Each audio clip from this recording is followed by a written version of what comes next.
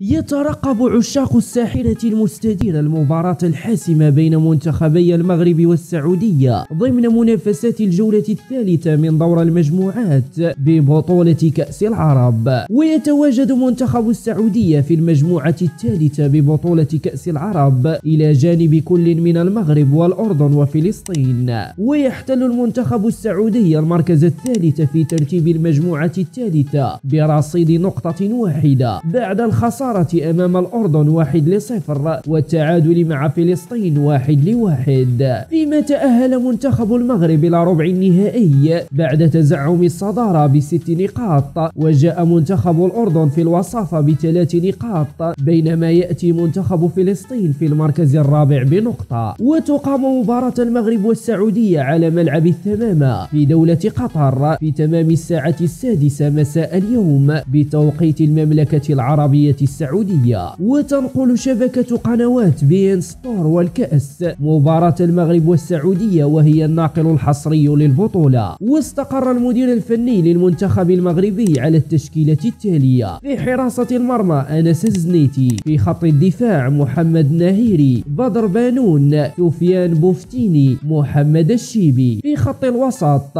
عبد الإله الحافظي يحيى جبران ووليد الكرتي. في خط الهجوم أشرف بن شرف. الشرقي وليد أزارو وإسماعيل الحداد. في الجانب الآخر استقر المدير الفني للمنتخب السعودي على التشكيلة التالية في حراسة المرمى محمد الربيعي في خط الدفاع متعب الحربي وليد الأحمد نايف الماس ونواف البوشل في خط الارتكاز سعود عبد الحميد وحامد الغامدي في خط الوسط علي مجرشي عبد الله رديف وحمد القحطاني وفي قلب الهجوم فراس البريكان.